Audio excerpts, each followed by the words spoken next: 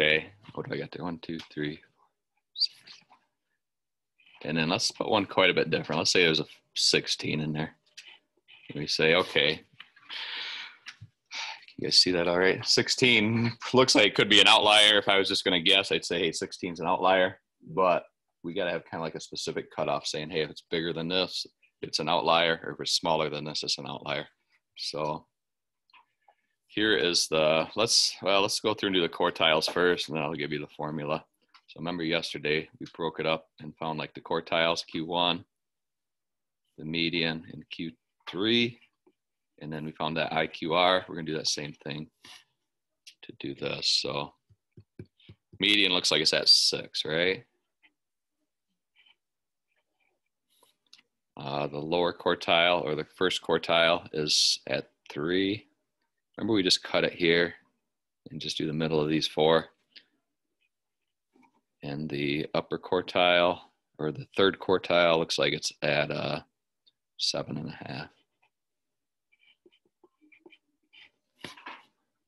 IQR, do you remember what that is? Uh, Natalie, IQR. Do you remember that from yesterday? One and a four and a half. Yeah, 7.5 minus three. Okay, so that's what we did yesterday. The new thing today is this is formula for outliers.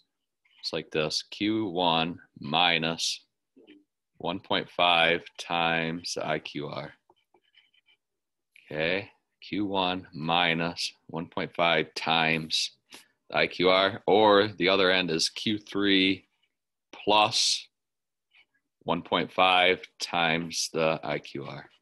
So there's two ends for outliers. Okay, so this is outlier cutoffs, I'll say. Okay, outlier cutoffs. All right, let's calculate that out. So Q1 was 3 minus 1.5 times 4.5. Do order of operations. So do your multiplying first. One and a half times four and a half, I think is six and a, uh, no, six and three quarters. I don't, you know, does that sound right? Add on 2.25. I think it's six and three quarters, isn't it? Okay, so that's going to be a negative 3.75. Okay, so make sure you do order of operations. Do this first. That's the main mistake people make on this. Okay, the other end, Q3 was at 7.5 plus 1.5 times four and a half again. Okay, so just 7.5 plus the 6.75. What's that? 13, 14, 5. All right. Okay, so what that means, let's just write this down what that means specifically.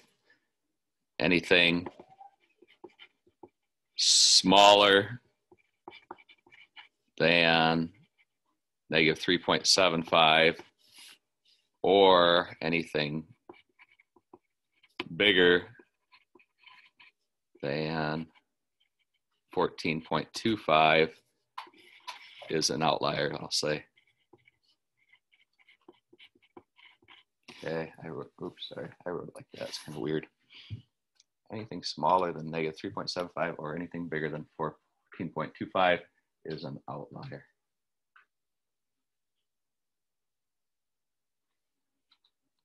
Okay, is 16 an outlier? Sure.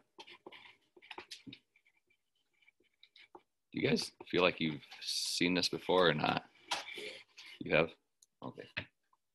I don't know if you guys did this specifically in pre-algebra or not. Okay, obviously there's no outlier on the low end. There's nothing lower than 3.75 or negative. There's nothing, no negatives, but there is outlier on the high end because this is bigger than 14.25. Okay. Pretty easy, right? Okay, go back to our data on, is it all there? You guys all got your data there? Um, or at least we got enough there to kind of do some calculating. Let's kind of clean it up just a little bit, and then I'll have you guys make your own copy of it.